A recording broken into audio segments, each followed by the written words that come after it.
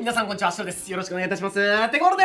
草壁使っていこうと思います。はい。星56でもね、まだ使ってないやつってのはいっぱいいるんですけれども、まあ個人的にちょっと、えー、今回始める人だったりとか、最近さ、星4号のコラボキャラで強いキャラがすごい多いじゃないですか。なので、星4号の話っていうのをどっかでしたいなと思っていたので、その話も含め、草壁使っていこうと思います。さすが一級術師、えー、かなりのスペックをもらっておりますと。はい、超アンダメ超マインスイーパー M。謎にね、この友情とアビリティ持ってるのに、超アビリティを2つももらっているっていうのが結構魅力的なところになってまして、友情ブースト。はい、友情のコンボ、友情コンボの威力が1.5倍。で、えー、3方向追撃貫通弾を持っておりますますと。まあカタログの時点時点からね、えー、星5制限とかのクエストでもう最強格になるんじゃないかと、えー、言われていたんですけれども、これはね、ちょっとライブでちょっといただいたコメントで、えー、本当かわかんないんですけど、まあ多分本当だと思うんだけど、いつも来てくれてる方がね、教えてくれたのが、撤退無効。がついてる SS になっていると。はい、スピードパワーがアップ停止後に近くの敵に抜刀で攻撃。抜刀抜刀ですからね。抜刀して弱いなんてことは過去にございません。はい、なので、彼も抜刀しておりますので、これめっちゃかっこいいですからね。うん。あと声がいい。声がいいんだ。聞く？聞くか？このままダラダラと時間を潰していたい。なぜなら死にたくないから。俺には聞こえてないんですけどね。うん、かっこいいんですよ。はい。ということで、草壁使っていこうと思います。まあ、普通に制で使ってるのと、その後、ラック90にした時の恩恵っていうところを見せる。で、その後に星5制限。まあ、他のキャラに比べてっていうところをお話ししていこうかなと思います。はい。では、クエストへ行こう。はい。ということで、まあ、使うまでもない。で、あとごめんなさい。他のやつをね、ちょっといっぱい厳選してる都合上、草壁の優先度がちょっと下がってしまいまして、え、普段だったらね、星4号も厳選してから使うんですけど、厳選がない、生まれたての草壁で 行こうと思いますと。はい。3方向は適当につければこれ になるんですよね。ちなみに来てるクエストは星5制限のクエストになりますので、まあ、草壁のえー、舞台ですね。あのしっかり使うであろうような、えー、クエストに来ておりますと。で今回はこれな重力あるのかな？重力あるか分かんない。あないないと思うんだけど今回。重力だけはちょっと苦手なクエストになりますね。やっぱりこの3方向追撃弾っていうのを敵につけなきゃいけない仕様上引っ張る側が重力を持ってないといけないっていうのがあったりするのでそこは少し苦手なクエストになるかなと思います。ただね今回ちょっと複雑にこの4体で、えー、使用してますけど1体とかでも十分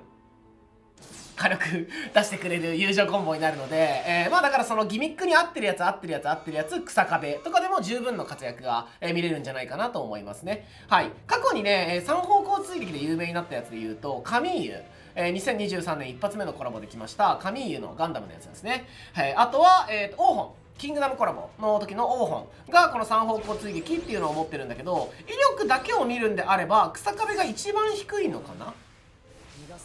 そうっすよね。バランスの、えっと、全員友情ブースト持ってるんですよ。今言ったやつ。で、えバランス型オーホンがスピードカミーユが砲撃なのね。でそもそもカミーユ砲撃型だからこれより威力がちょっと高いです。ここから1.4倍ぐらい高いのかな。はい。でえっとオーホンに関してはえー、何キラー？ファーストキラーか。ファーストキラー持っているキャラになりますのでファーストキラーキャプラススピード型っていうので、えー、草壁より威力が高いと。なので、えーと、基本的に威力は草壁が一番低いんですが一番肝心なものは草壁しか持ってない。貫通タイプ。これはマジで大事ですね。やっぱりオーホンとかカミーユを使ってて一番ストレスに感じたのは3方向追撃っていうのをいろんな敵につけれないシーンがある。これとかそうだよね。これとかさこんな位置から始まってみ？反射タイプが。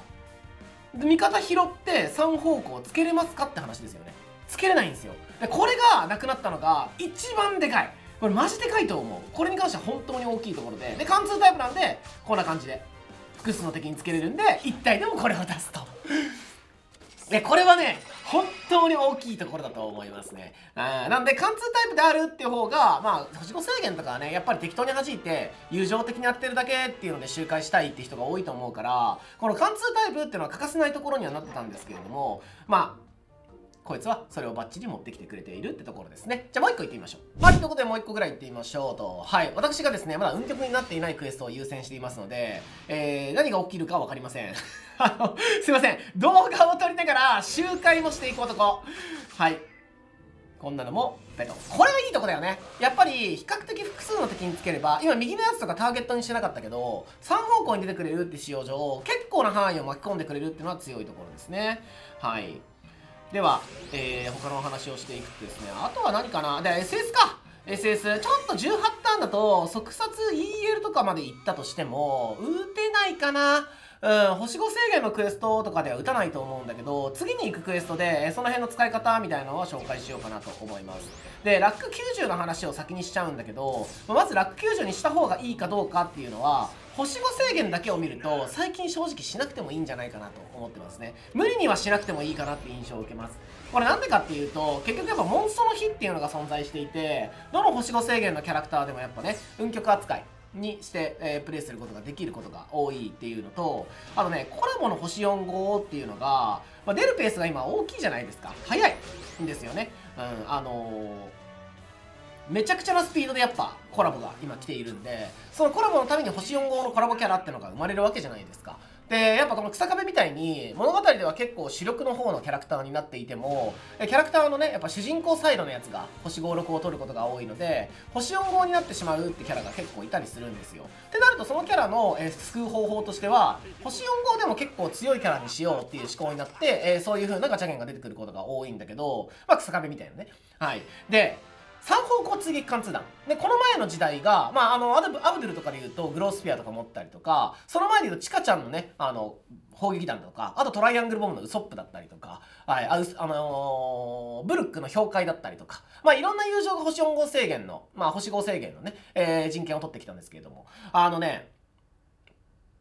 変わると思うそろそろ。今三方向追貫通弾っていうのが、あのー、星5制限での一番光ってる友情コンボってなんだけど、この時代も移り変わっていくと思うんだよね。で、この時代を作ったのって、去年の1月に出たガンダムコラボの神優なので、で、今年こいつが出てきて貫通タイプっていう終止符を打ったんですよね。ってなってくると、もう三方向追貫通弾を星5制限で使わせようっていう時代をこすってくることはないんじゃないかなと思っているので、次あたりに結構ぶっ飛んだ星5制限出てくるんじゃないかなと思うんですよね。それこそハイプラスマ持っててる星5キャラとか。はい、もう制限クエストはハイプラスまで吹き飛ばしていくよ。みたいなのが出てくる可能性がすごい高いと思ってるので結局そっちにねどんどん90を更新していかなきゃいけないから90は別にね今はもうね時代的にも作んなくていいのかなっていうふうには思ってます。ただ1個のパターンだけ1個パターンとして90を作っておいた方がいいよってパターンがありましてそれをちょっと今回使ってみようかなと思います。はい。ではえー、ラック90にする理由のもう一つ、えー、やっていこうと思います。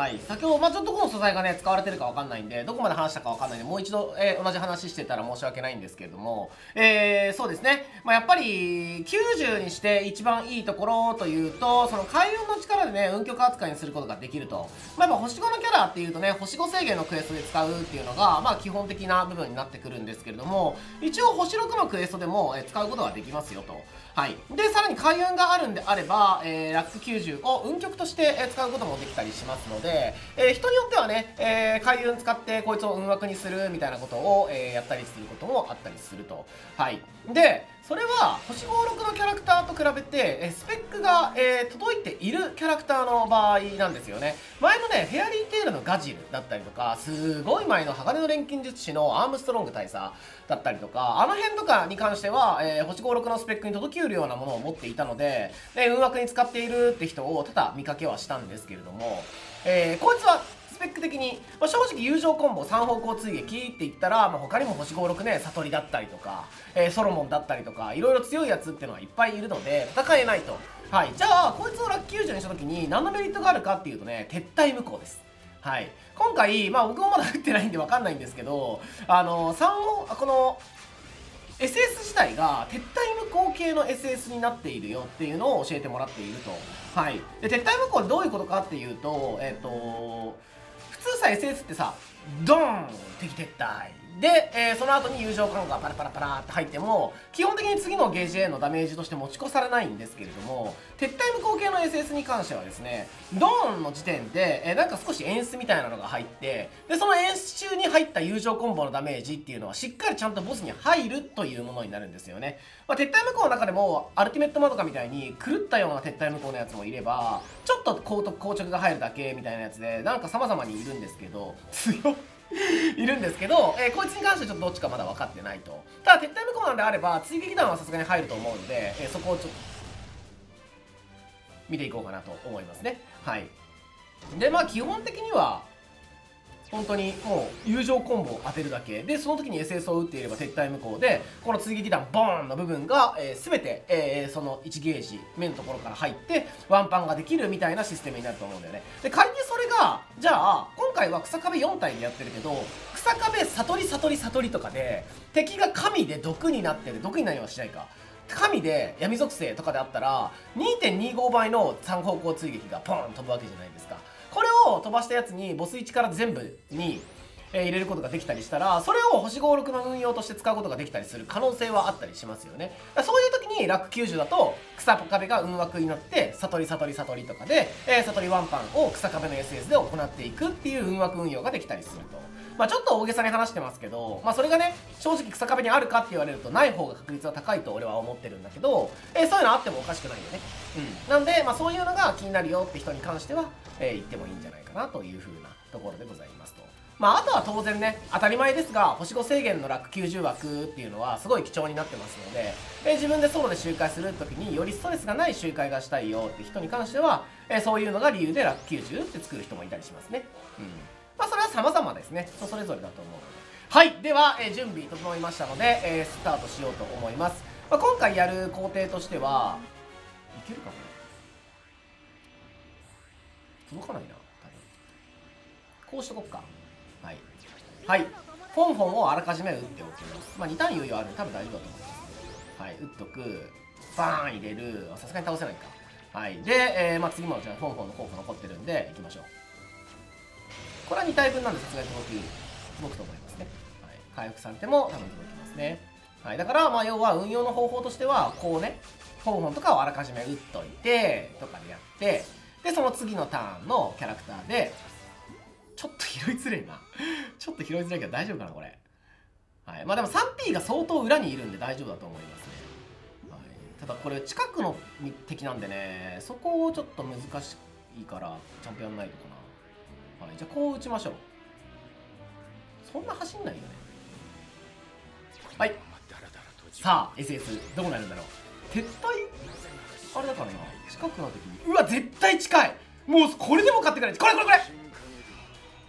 撤退無効してる。でこの1700万が全部入ります。っていうのでワンパンができると。これだよね。これいや本当だ。撤退無効。えてか結構早い段階から撤退無効入ったな今のな。これこれができるんだよね。でこれが今まさに星56のクエストだったじゃないですか。月読みゼロなんてもうやってる人いないと思うんですけど月読みゼロっていうので今これやった時に、まあ、ラック90でパッと報酬画面見てほしいんですけどこれね。ラック90分。これはラック90のラックの宝箱っていうのを1個拾ってる。プラスラキモンの分の1個。でこれが開運があると運極って扱いになって運極だったら箱2個持ってくるよね。で2個持ってきてラッキーモンの宝箱っていうので3箱の報酬が取れるよというとこですね。だからラック90にしとくとこういうつくみ組ゼロみたいにワンパンで周回する時にこいつを運極として使うこともできたりするのでこれも1個のね理由になります。うん。あの運極にするあの90にするっていう理由になります。ただこれに関しては弱いかな。今後星56のクエストでこんな簡単に草壁でワンパンしてくれるってクエストそんなに多くもないと思いますし SS 自体もね高速周回には向かないぐらいのターン数にはなってますし同じく星56の降臨でもね同じようなことできるやつっていうのが多々いますので、まあそういうのを使ってやるのが一番いいんですけど、一応こういうやり方もあったりしますよっていうお話でございましたと。はい、オーブの回収ありがとうございます。はい、で、草壁パッと使ってきましたけれども、まあ星4、号、まあ星5のキャラにしては、もうめちゃくちゃなスペック持ってると思います。3方向追撃弾の上がそろそろ出るんじゃないかなって予想はしたものの、今現状の段階では星5制限で一番輝くキャラと言ってもいいぐらいの、えー、スペックになってると思いますので、えー、好みの方はね、引きに行っても全然いいんじゃないかなと思います。で、最初に言いました、まあ、使われてるかわかんないですけど、カミーユとオーホン、まあ、3方向追撃、あとは星5制限で今輝いてるやつっていうと、えー、アブドゥルか。はい。とか、と比べたらどうなのかっていうと、アブドルに関しては、えー、あいつも貫通タイプなんで、めちゃくちゃ強いんですよね。めちゃくちゃ強いんだけど、あの、やっぱりね、グロースピアのね、あのー、軌道が、ちょっとね、あの、ランダム性、まあ、ランダムじゃないらしいんですけど、まあ、一応ランダム友情みたいなもんじゃないですか。っていうので読めないっていうので、ちょっと内漏らしがあって、ムラがありますよね。はい。それが嫌だって人に関しては、やっぱ狙った敵に当てる3方向追撃、えー、好みなんじゃないかなと思いますね。同じく貫通タイプ。で、アブドゥルが使われた理由って、オーホンと、えー、カミーユが、お互いがお互い当たりづらい。反射タイプだから。っていうのがえー嫌で、えーアブドゥルを艦隊で使うって人が結構いたと思うんだけどそこもね貫通タイプってことでクリアしていますので、えーまあ、文句なく今トップ環境に躍り出たんじゃないかなというふうに思いますね。はい。でオーフォンとカミユが死んだかって言われるとそうでもなくてカミユはちょっと厳しくなったかなと思いますけどオーフォンに関してはまだまだだと思います。うん、オーフォンはねあいつ反射タイプだけでやっぱスピードが速いんで結局適当に打ってればねお互いがお互い拾ってっていうのがある程度のクエストまではできちゃったりするんですよね。無理な位置でも打ってみたらあまりにもスピードが速いから結局走り切って味方に触れて友情出したねみたいなことが多いからね。オーフォンはまだ全然現役かなと思いますね。で移植威力に関しては一応草壁より上になってるのかな。はいっていうのもあるんでまあもう文句なくまだ使えるんじゃないかなと思いますね。なんでその辺がラック90になってないって人は今回これを機にラック90に1本しておくっていうのはありだと思いますね。はいなのでまあこれを参考にしてぜひ作ってみていただければなと思います。ということで他のクエストでもここ良かったよとかがあったり、えー、ラック90のポイントだったりどれぐらいおすすめかみたいな意見がありましたらコメント欄でぜひよろしくお願いいたします。ということで本日もここまで動画のご視聴いただきありがとうございました。よかったら最後にチャンネル登録、高評価よろしくお願いいたします。それではまた次の動画でお会いいたしましょう。バイバイ。ありがとうございました。